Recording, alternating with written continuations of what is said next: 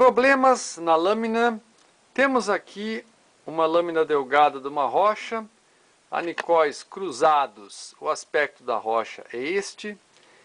E nos chama a atenção imediatamente uma série de estruturas grandes e arredondadas que nós vamos encontrar nesta lâmina. Aqui temos mais outra, aqui temos mais outra e assim sucessivamente. Aqui temos uma e aqui temos uma. Né? Antes de perder tempo especulando sobre a identificação desse material, temos que nos dar conta que trata-se simplesmente de bolhas de ar presas na cola da lâmina. Então, uma lâmina delgada possui duas camadas de cola. Uma camada de cola entre a fatia de rocha e o vidro que dá suporte à lâmina delgada, e uma outra camada de cola entre a fatia de rocha e a lamínula superior que protege a fatia de rocha. Né?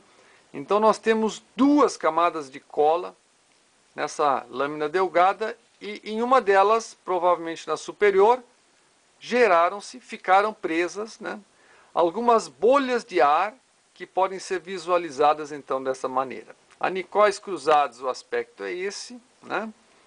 E nós não podemos perder tempo com isso.